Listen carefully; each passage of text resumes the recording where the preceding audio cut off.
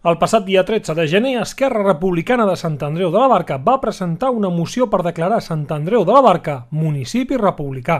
En la seva exposició, el portaveu d'Esquerra Republicana Jordi Albert i Caballero fa referència a la Constitució espanyola en el seu títol segon, que situa el rei com a cap d'estat i li confereix un seguit de prerrogatives com són la inviolabilitat i el no estar subjecte a cap tipus de responsabilitat, Continua que la corona és hereditària en els successors de l'actual cap d'estat i això anula tota possibilitat de poder escollir el màxim responsable civil. Privilegis que no poden ser sotmesos a la consideració popular i que són acceptats per part dels principals actors polítics i socials, com diu la moció, xoca frontalment amb el model d'estat republicà que situa tots els ciutadans iguals davant la llei i que la potestat d'escollir el cap d'estat recau en la sobirania popular. És per això que Esquerra Republicana demana que s'arribin als següents acords. Primer, declarar Sant Andreu de la Barca municipi republicà. Que entenen, aquesta forma de govern representa la concreció dels principis de la llibertat i igualtat millor que d'altres.